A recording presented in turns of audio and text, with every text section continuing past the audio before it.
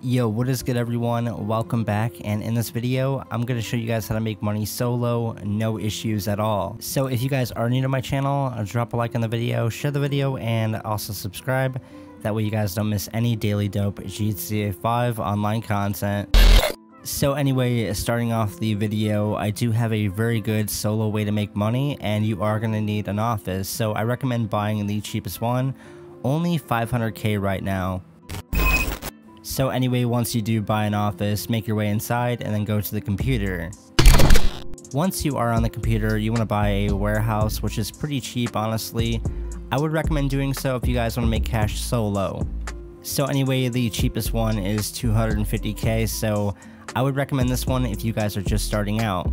Now keep in mind, this is a small warehouse, you can get a medium or a large as well. I recommend the small one though. Now I'm going to be sourcing crates and I'm using my Terrorbyte by the way and I also have my Terrorbyte parked by my warehouse.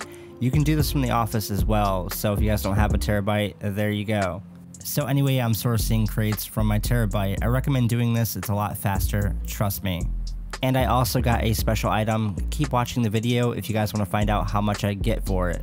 Now the special items are kind of random so your assistant will contact you when you finally do have one. And just know you guys, getting the special item is not rare, so don't worry.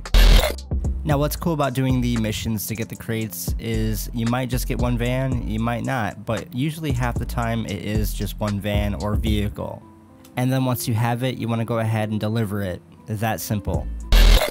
And then once you deliver the vehicle, you can go ahead and either sell what you have or you can keep doing it until your warehouse is full.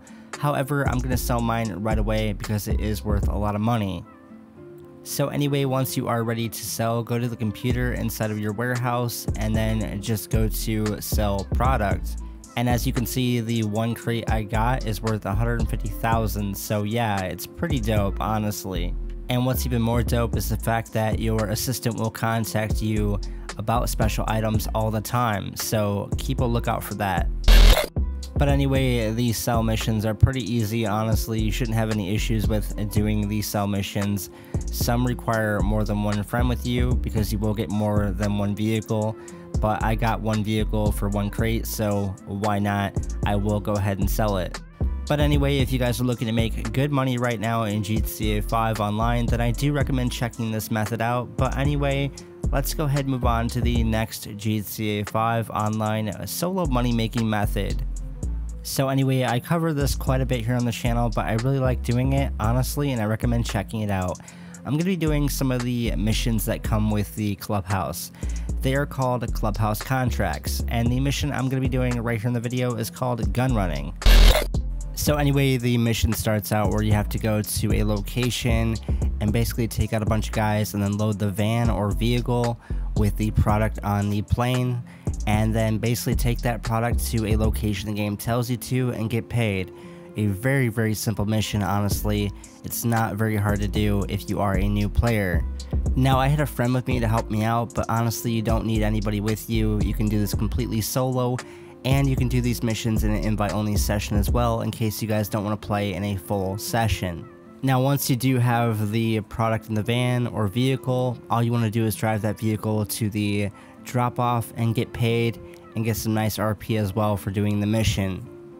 So if you're playing GTA 5 online today, tonight, or whenever, I would recommend checking these out if you guys want to make some good cash and RP, for sure. But if you guys enjoyed this GTA 5 online video, make sure you guys like, share, and subscribe. It would always be appreciated. God bless you guys, and see you in my next GTA 5 online video.